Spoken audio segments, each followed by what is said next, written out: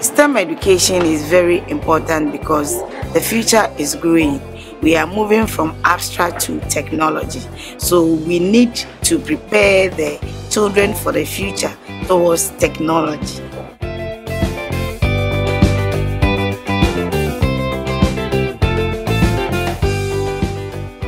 The teachers need to be brought up to speed on how to deliver this curriculum. This workshop is just meant to complement government's efforts to um, improve teachers' ability to develop and uh, deliver this curriculum. The new curriculum is seeking to produce students who are able to more and more make use of the knowledge they acquire in the classroom. We were teaching in the abstract. We were only normally using only the textbooks. They, they could only see diagrams, sketches here and there. We, we forced them to sometimes memorize whatever we teach them, which wasn't the best. Experimento Ghana providing materials, children are able to learn with understanding.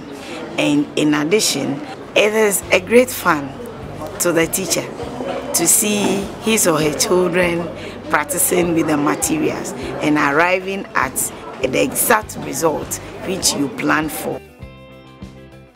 But it should be linked to the world of works. That while the ch child is learning, he focuses on what he wants to achieve tomorrow. What can you do technically and vocationally with this knowledge?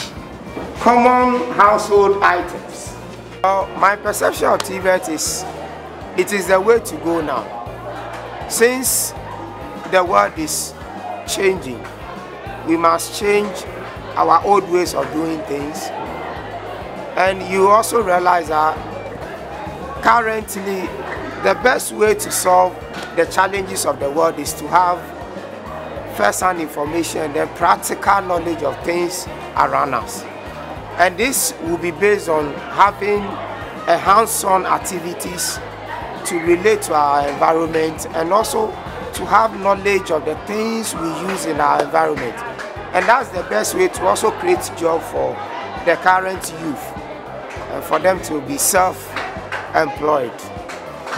They've made us to know that any topic at all has materials that can be used, that the kids will be made to, to explore. So thumbs up for them. Yes, I feel empowered to allow my students to be creative and innovative.